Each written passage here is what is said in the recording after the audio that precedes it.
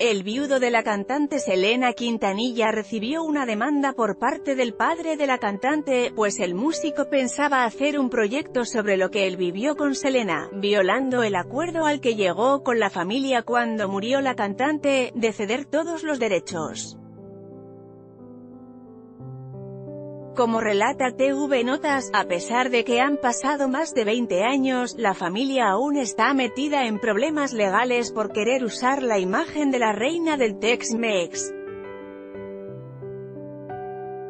La demanda habría sido en 2012 y se dice que llegó a su fin pero no de la mejor manera, el Tribunal de Texas dio el fallo al señor Quintanilla y Chris no podrá hacer ninguna serie. Chris además tendría que pagar los gastos que generó a su ex-suegro.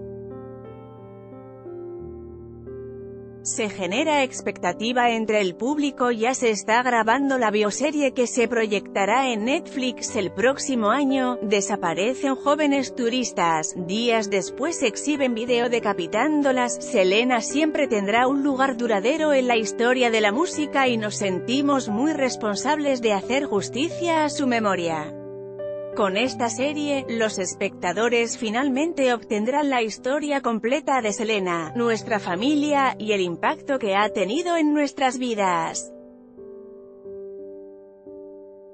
Estamos entusiasmados de asociarnos con Campanario y Netflix para darles a los fans una visión nunca antes vista de nuestra historia y resaltar por qué Selena seguirá siendo una leyenda para las generaciones venideras, dijo Suset Quintanilla, hermana de Selena Quintanilla.